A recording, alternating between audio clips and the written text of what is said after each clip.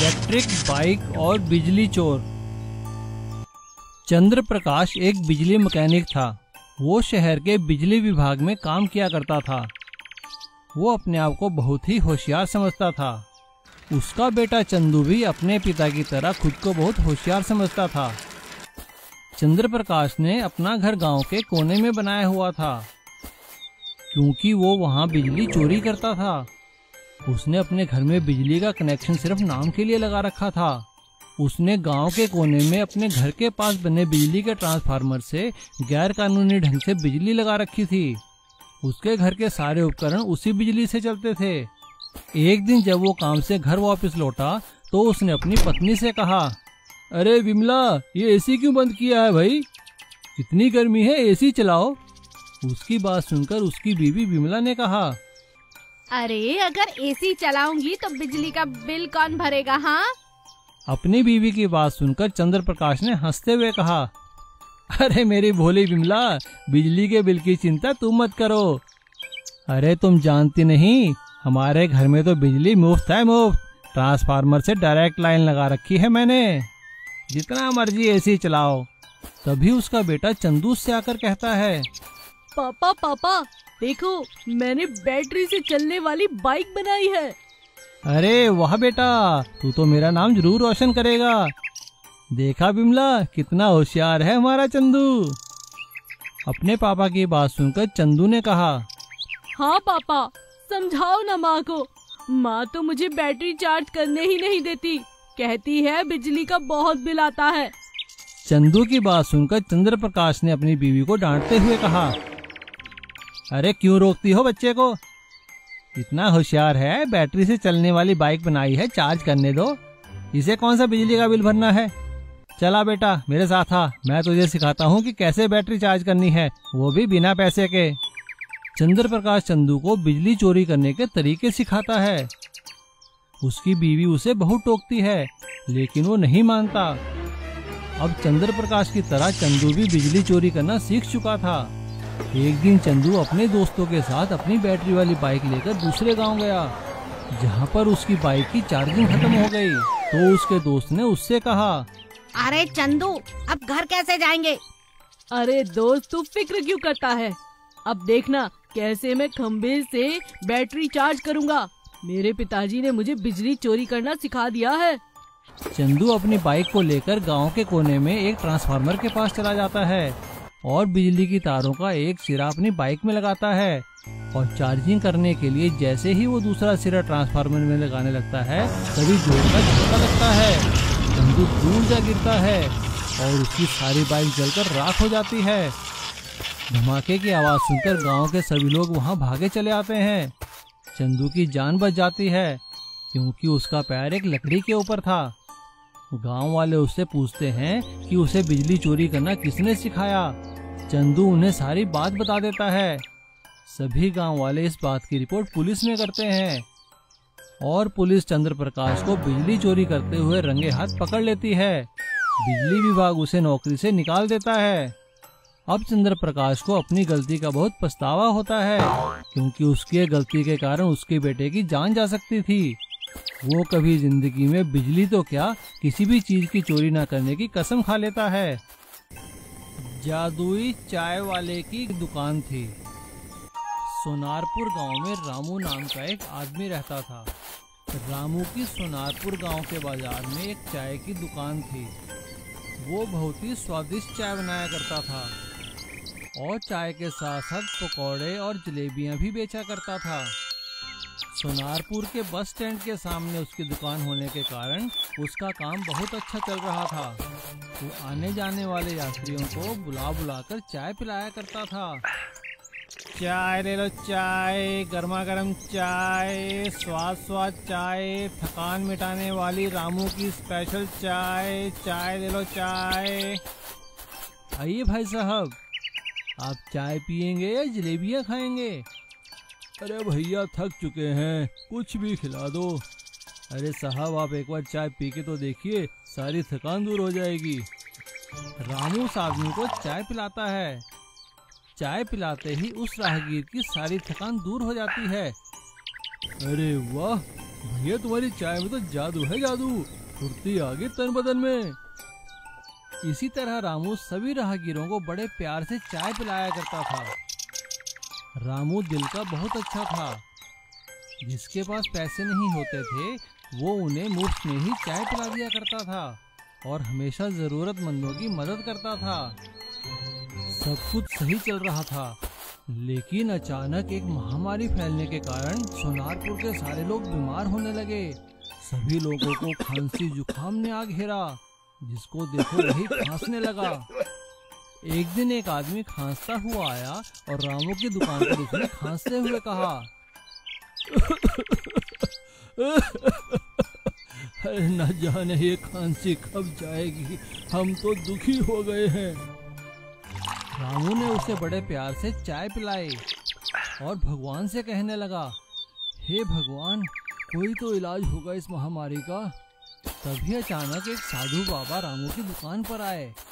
प्रणाम महाराज, आइए, बैठिए, क्या सेवा करूँ आपकी? उस साधु बाबा ने अपने झोले में से एक जड़ी बूटी निकालते हुए रामू से कहा, रामू, मुझे पता है तुम दिल के बहुत अच्छे हो। एक काम करो, ये जड़ी बूटी लो और अपनी चाय में मिलाकर सभी लोगों को पिलाओ। इससे पूरे गाँव का भला होगा।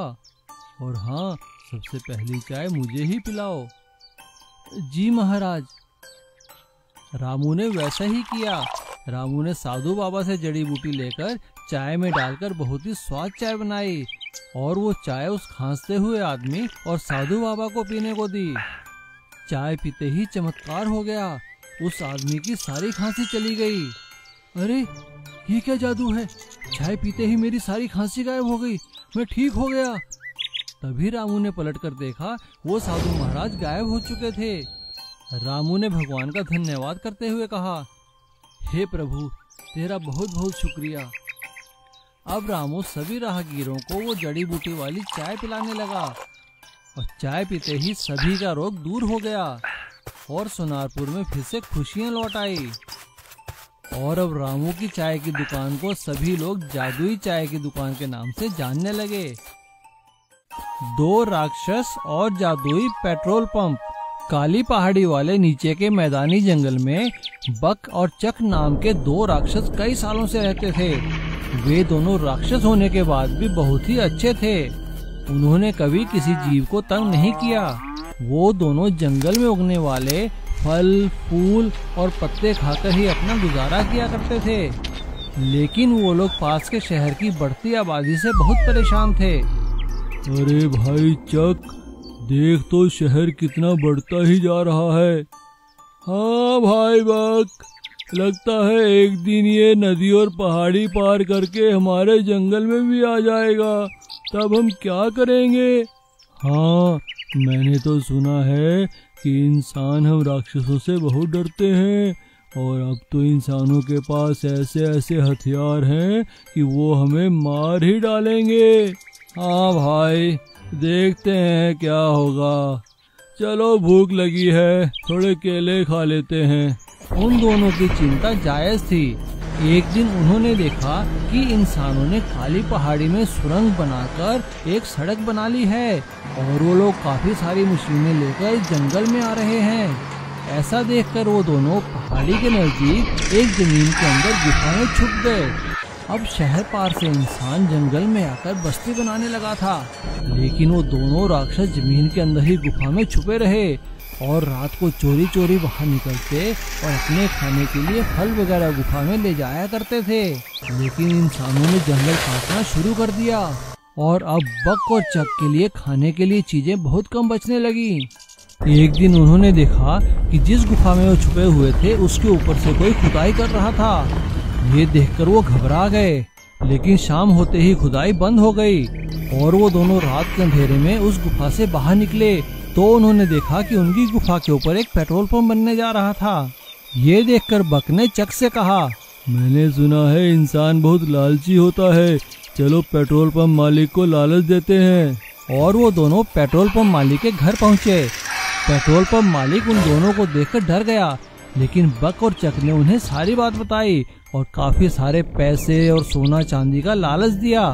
सोना चांदी की बात सुनकर पेट्रोल पंप का मालिक मान गया और उसने उन दोनों से कहा ठीक है महाराज जैसा आप कहो लेकिन मुझे बताओ करना क्या है? तो बक ने उससे कहा, देखो मेरी बात सुनो, तुम वहाँ पर जो मर्ज़ी बनाओ, लेकिन उसके नीचे हमारा घर है, उसे नुकसान नहीं पहुँचना चाहिए। हम तुम्हें बहुत सारा सोना चांदी देंगे और तुम्हारे पेट्रोल पंप में मुफ़्त का पेट्रोल भी हमेशा आता रहेगा। लेकिन तुम्हें लोगों को थोड़ा सस्ते दाम में पेट्रोल देना पड़ेगा। ठीक है महाराज, जैसा आप कहो। और वो दोनों उससे बात करके वापस आ जाते हैं और अपनी जादुई शक्तियों से रातों रात ही अपने घर के ऊपर एक पेट्रोल पंप तैयार कर देते हैं और पेट्रोल पंप मालिक के घर खूब सारा सोना चांदी भी दे देते हैं। अब पेट्रोल पंप का मालिक सस्ते दामों में लोगों को पेट्रोल देने लगता है और उस पेट्रोल पंप के नीचे बक और चक आराम से रहते हैं। और भगवान से कहते हैं कि, वाह रे भगवान, क्या चीज़ बनाई है तूने इंसान? रामू और श्यामू सुंदर नगर में एक ही कॉलेज में पढ़ा करते थे। दोनों बहुत ही अच्छे दोस्त थे। वे दोनों एक साथ ही कॉलेज आते, क्लास में पढ़ते और कॉलेज की कैंटीन में एक साथ बैठकर ही खाना खाया करते थे। वो दोनों बहुत ही पेटू और शरारती किस्म के लड़के थे। उन्हें हर काम करते हुए खाने का ही सूझता था। और खासकर खाते हुए तो वो लोग बहुत ही शरारत किया करते थे। एक दिन जब इतिहास के टीचर क्लास में पढ़ा रहे थे, तभी श्यामू को कॉलेज की कैंटीन से समोसे बनने की खुशबू आती है। उसने रामू को इशारा करते हुए कहा, अरे रामू, देख तो कितनी अच्छी खुशबू आ रही है। और यहाँ पे पता नहीं इतिहास का पीरियड कब खत्म होगा। अरे हाँ हाँ श्यामू मैं भी यही सोच रहा हूँ। चलो कुछ जुगाड़ करते हैं। उन्हें आपस में बात करते देख इतिहास के टीचर ने पूछा अरे रामू श्यामू क्या कर रहे हो तुम दोनों? क्लास में बैठे हो या पार्क में? चुपचाप बैठो। अरे सर सर मेरे बहुत पेट में दर्द हो रहा है सर सर क्या मैं बाहर जा सकता हूँ? अच्छा ठीक है जाओ निकलो यहाँ से दोनों। दोनों बड़ी खुशी खुशी क्लास से बाहर चले जाते हैं और सीधा कैंटीन में पहुँचते हैं। कैंटीन के मालिक जगतार उन्हें देखकर बहुत दुखी हो जाते हैं और अपने कारीगर से कहते हैं, अरे छोटू आ गए दोनों बुखड़, देख तो क्या खाएँगे ये? रामू और श्यामू समोसे खाने के लिए मांगते हैं और देखते ही देखते वो काफ़ी सारे समोसे चट कर जाते हैं और वहाँ बाकी खड़े लोग सभी उन्हें देखते रहते हैं। तभी एक लड़का जगतार से कहता है अरे चाचा, क्या करते हो आप भी? आज भी ये दोनों सारे समोसे खा गए। अरे बेटा, मैं तो इनसे खुद दुखी हूँ। क्या करूँ? तभी वो लड़का जगतार के कान में कुछ बात कहता है। हाँ हाँ ये ठीक रहेगा। कल ऐसा ही करूँगा। अगले दिन जैसे ही रामू श्यामू कैंटीन में आते हैं तो वो देखकर हैरान हो जाते हैं कि एक टेबल पर नूडल के भरे भरे दो बाउल पड़े थे। अरे चाचा, ये क्या है चुनौती? हमें भी बताओ। अरे आओ आओ, बेटा खास लगता है तुम दोनों के लिए ही है। अरे भाई, जो ये दो नूडल के बाउल दो मिनट में खा जाएगा, उसे मैं पूरे साल भर कैंटीन में मुफ़्त खाना खिलाऊँगा। ये सुनकर वो दोनों बहुत खुश हो जाते हैं। अरे चाचा, बस इतनी सी बात। और अगर नहीं खा पाए तो? अरे भाई तो क्या? तो उन्हें साल भर के पैसे देने होंगे। रामू और श्यामू एक दूसरे को देखते हैं और चुनौती स्वीकार करने के लिए हाँ कर देते हैं। लेकिन जैसे ही रामू शामू नूडल्स खाने लगते हैं, वो देखकर हैरान हो जाते हैं कि नूडल्स के नीचे तो काफ़ी सारी मिर्च वाले नूडल भरे हुए थे। वो दोनों मिर्च लगने के कारण चिल्लाने लगते हैं। अरे हाय हाय, मर गया मर गया, इतनी मिर्च, हाय को पानी पीने को दो। हाँ हाँ पानी दो पानी दो भाई, अरे जल्दी पानी दो। तभी कैंटीन मालिक जत्तार कहता है, अरे छोटू, दे इनको पानी दे, साथ में एक गिलास दूध का भी दे। और हाँ बेटा तुम्हारे दो मिनट हो गए पूरे और नूडल रह गए अभी अधूरे। चलो चलो, उठो, मुँह साफ़ करो और एक साल के खाने के पैसे दो। रामू और श्यामू को शर्त के अनुसार खाने के पैसे देने पड़ते हैं और दोनों कान पकड़ते हैं कि कभी किसी के साथ शरारत नहीं करेंगे और खासकर किसी को खाने पीने के लिए तो बिल्कुल भी तंग नहीं करेंगे।